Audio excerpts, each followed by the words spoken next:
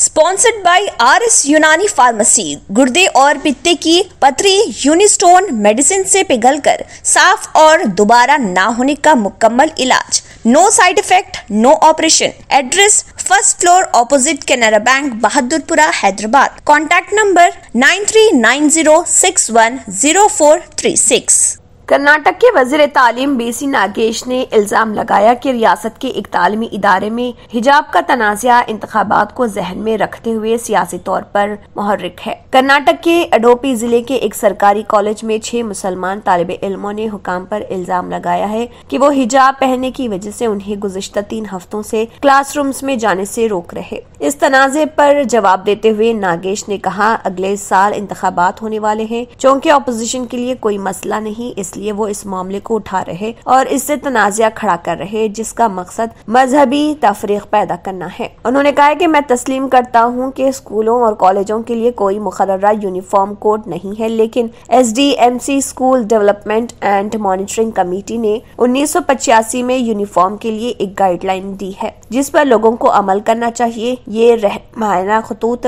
उस वक्त सामने आए जब बीजेपी इकतदार में नहीं थी। वज़ीर नागेश ने कहा कि सरकारी कॉलेज में सौ के करीब मुस्लिम तलबा पढ़ रहे थे, लेकिन इन छह तलबा के अलावा किसी ने भी तशवीश का इजहार नहीं किया। बाद में एक न्यूज़ चैनल से बात करते हुए वज़ीर तालीम ने कहा है कि हिजाब पहनना बेजाबतगी के मुतरदिफ है। तालीमी इदारे आपके मज़हब पर अमल करने की जगह नहीं है।